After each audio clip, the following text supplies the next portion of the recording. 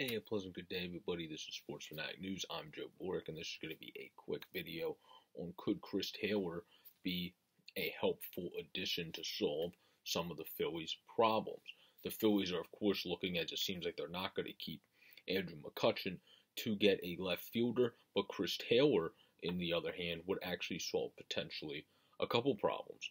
Because if you do, like some articles suggested, say, move JT Realmuto into the outfield when one of the other young cats are ready to at least catch from a defensive perspective consistently behind the plate in Logan O'Hoppe or Rafael Marchan, or you grab a vet off the market and let JT play left field.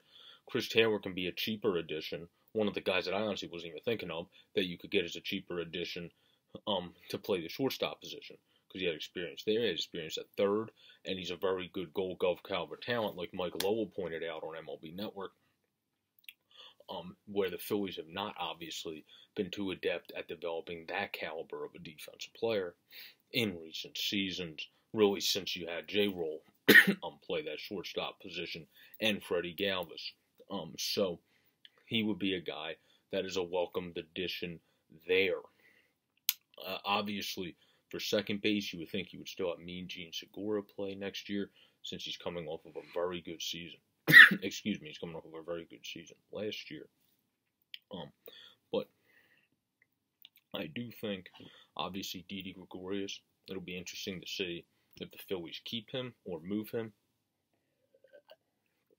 Um, I have a feeling they're going to try to move him. Uh, not sure what you would get. So maybe they'll just end up keeping him, but we'll have to see.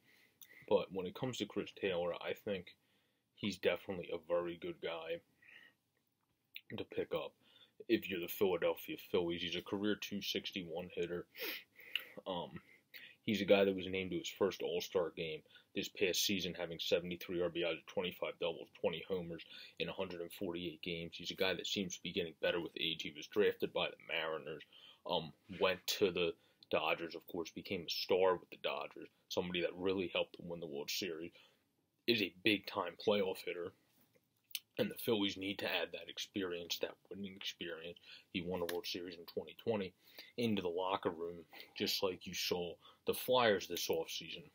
Add some people that have really good winning experience, which really helps in a locker room. They added some really good locker room guys.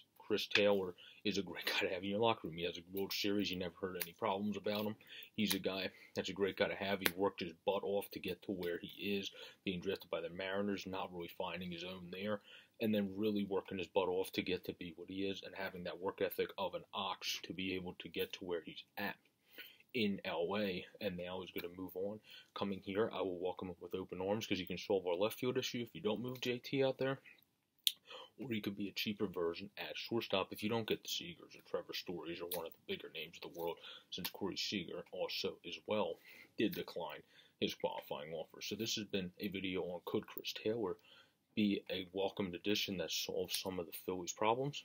Yes, he could be, and he would definitely be a very welcomed addition by me, and I think many fans out there in Phillies land. Peace out, everybody, and let's go Phillies. Start making some off-season moves.